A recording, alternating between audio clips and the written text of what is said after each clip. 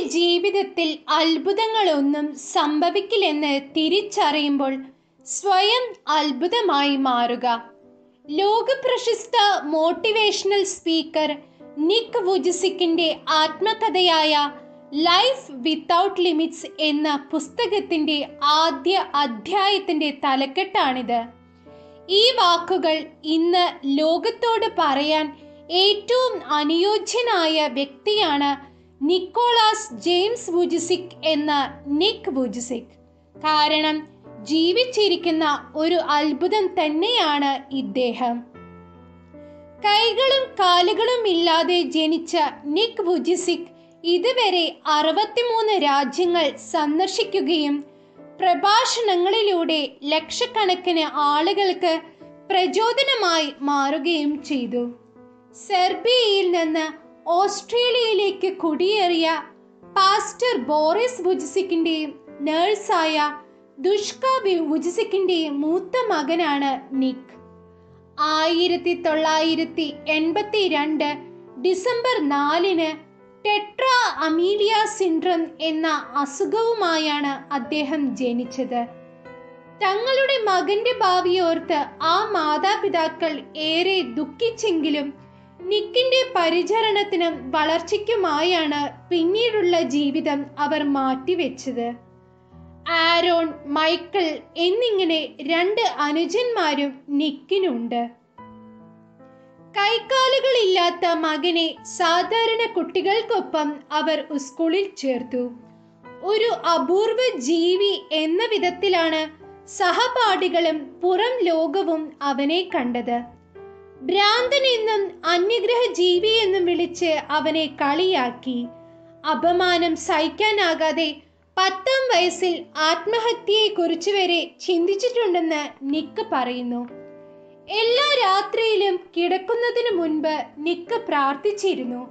ഉണരുമ്പോഴേക്കും തനിക്ക് കൈക്കാലുകൾ തരണമേ എന്ന് എന്നാൽ ആ അത്ഭുതം ഒരിക്കലും നടന്നില്ല.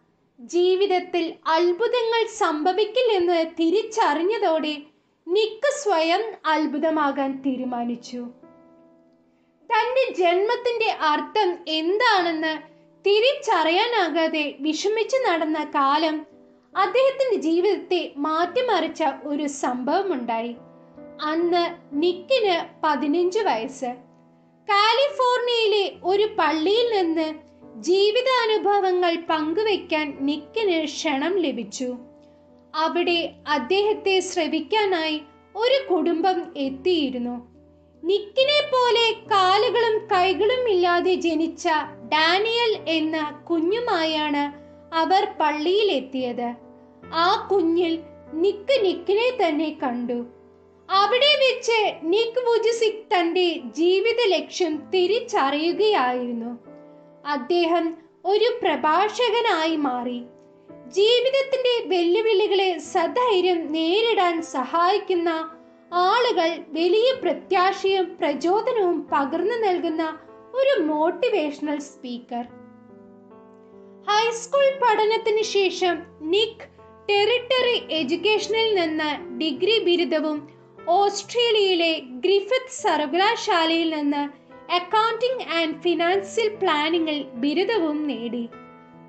വൈകല്യവുമായി ജനിച്ച ആളുകൾക്ക് പ്രചോദനമേകാൻ രണ്ടായിരത്തി അഞ്ചിൽ നിക് ലൈഫ് വിത്തൗട്ട് ലിമിറ്റ്സ് എന്ന സ്ഥാപനം ആരംഭിച്ചു. ആറ്റിറ്റ്യൂഡ് ഈസ് ആൾട്ടിറ്റ്യൂഡ് എന്ന മോട്ടിവേഷണൽ സ്പീക്കിംഗ് കമ്പനി രണ്ടായിരത്തി ഏഴിൽ തുടങ്ങി. ടെക്സസ് സ്വദേശിയായ കാനെ മിയ ഹാരിയെ രണ്ടായിരത്തി പന്ത്രണ്ടിൽ നിക് ജീവിത പങ്കാളിയാക്കി. ഇരുവർക്കും നാല് കുട്ടികളാണ് ഉള്ളത്. ദൈനംദിന കാര്യങ്ങൾ ചെയ്യാൻ നിക്കിന് ആരുടെയും സഹായം വേണ്ട. ഗോൾഫ് നീന്തൽ സർഫിംഗ് സ്കൈ ഡൈവിംഗ് തുടങ്ങി ഒരു സാധാരണ മനുഷ്യന് ചെയ്യാൻ സാധിക്കുന്നതെല്ലാം നിക്കിന് ചെയ്യാൻ സാധിക്കും. Life without limits unstoppable limitless stand strong and love without limits be the hands and feet എന്നീ പുസ്തകങ്ങളും അദ്ദേഹം രചിച്ചിട്ടുണ്ട്. അദ്ദേഹത്തിന്റെ രചനകൾ മുപ്പതിലേറെ ഭാഷകളിലേക്ക് വിവർത്തനം ചെയ്യപ്പെട്ടിട്ടുണ്ട്. യൂട്യൂബിൽ അദ്ദേഹത്തിന്റെ ഓരോ വീഡിയോയും ലക്ഷക്കണക്കിന് ആളുകളാണ് കാണുന്നത്. സ്വന്തം കഴിവിൽ വിശ്വസിച്ചാൽ നേട്ടങ്ങൾ സ്വന്തമാക്കാമെന്ന് നിക്ക് പ്രസംഗിക്കുകയല്ല ജീവിച്ച് കാണിക്കുകയാണ് ചെയ്യുന്നത്. അതുകൊണ്ട് തന്നെ ഈ മുപ്പത്തെട്ടുകാരന്റെ ജീവിതത്തെ ലൈഫ് വിത്തൗട്ട് ലിമിറ്റ്സ് എന്ന് തന്നെ നമുക്ക് വിശേഷിപ്പിക്കാം. ഈ വീഡിയോ നിങ്ങൾക്ക് ഇഷ്ടപ്പെട്ടാൽ ലൈക്ക് ചെയ്യുക ഷെയർ ചെയ്യുക ഈ ചാനൽ സബ്സ്ക്രൈബ് ചെയ്യുക. വീണ്ടും മറ്റൊരു വീഡിയോ വരുന്നത് വരെ ബായ്